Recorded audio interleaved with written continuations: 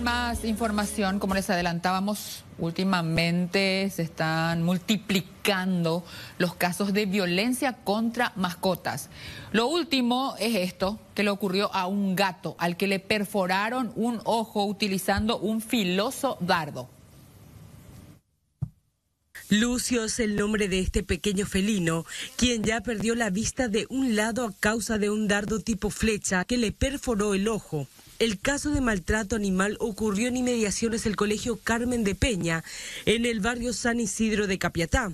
El propietario manifestó que llegó a su vivienda y una vecina le señaló que algo le pasó a su mascota. Se percató del hecho y rápidamente lo trasladó a la veterinaria más cercana. En el lugar pudieron extraer el objeto punzante a través de un procedimiento quirúrgico.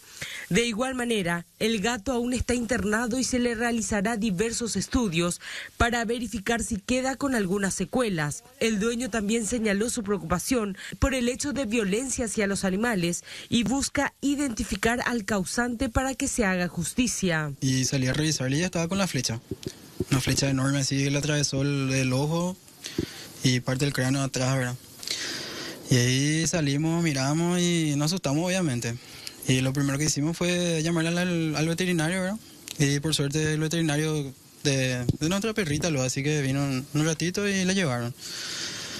Y después nos quedamos con la incertidumbre de qué iba a pasar y al rato ya no, nos avisaron que ya le sacaron la flecha, nos enviaron la foto.